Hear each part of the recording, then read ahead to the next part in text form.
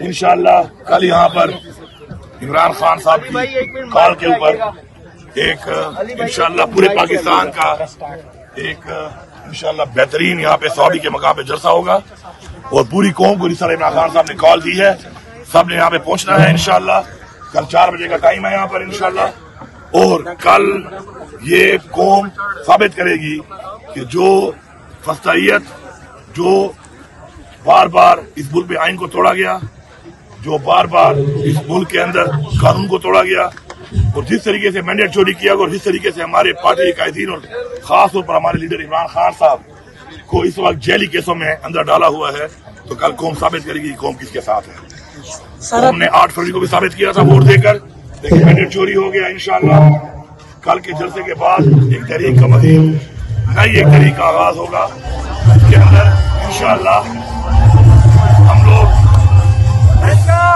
حکومت کو۔ یہ بتانا چاہتے ہیں کہ ہمارے پارٹی کو پنجاب میں، سندھ میں اور بلوچستان میں اور اسلام آباد میں جلسہ نہیں کرنے دیا جا رہا۔ اور ہمارے لوگوں کو ڈاکٹروں کو نہیں چھوڑا جاتا اور وہاں پر ان پہ چھاپے لگائے جاتے ہیں، جیلی پرچے کاٹے جاتے ہیں۔ اگر انہوں نے اپنا رویہ ٹھیک نہ کیا تو کل انشاءاللہ میں یہاں سے اسلام آباد ہمارا دارالخلافہ ہے، ہمارا کیپٹل ہے اور انشاءاللہ کل میں یہاں پر اسلام آباد کے جلسے کا بھی انشاءاللہ اعلان کروں گا، تاریخ کا اعلان کروں گا۔ اور پھر ہم دیکھتے ہیں کہ ہمیں کون روکتا ہے یا کون ہمیں روک سکتا ہے جلسہ کرنے سے اسلام آباد کے اندر، تو پھر دودھ کا دودھ پانی کا پانی ہوگا۔ اس لیے بہتر ہے کہ اپنا رویہ ٹھیک کر لیں۔ میری اداروں سے اور عدالتوں سے ریکویسٹ ہے کہ جس طریقے سے بار بار عدالتیں بھی کہہ رہی ہیں جائے صاحبان بھی کہہ رہے ہیں کہ ان پہ پریشر ہے۔ وہ بتائیں پریشر کس کا ہے۔ اور پریشر وہ نہ لیں، قوم ان کے ساتھ ہے ہم ان کے ساتھ ہیں۔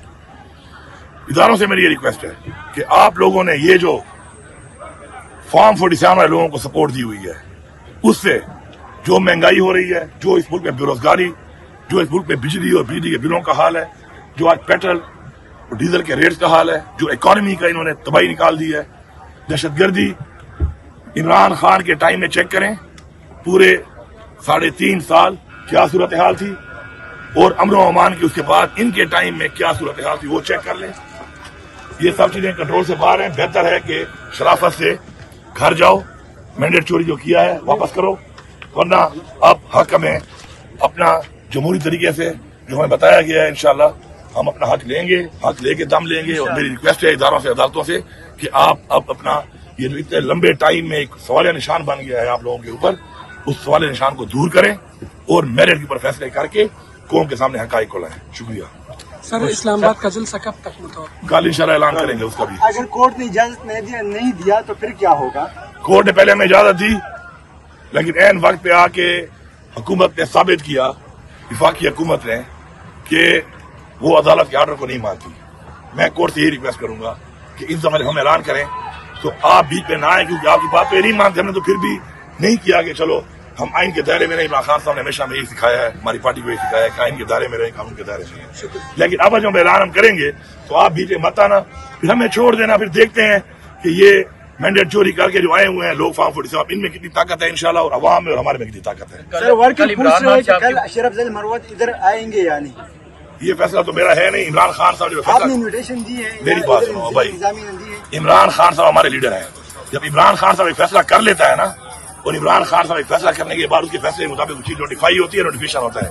اس کے بعد اس بات پر ڈیبیٹ کرنا اس پہ بات کرنا اس پہ سوال کرنا کم از کم طریقے انصاف کے اندر ٹائم ضائع کرنا۔ عمران خان کا فیصلہ ہے عمران خان جو فیصلہ کرتا ہے وہ پوری پارٹی کو اوپر سے لے کے نیچے تک من من قبول ہے۔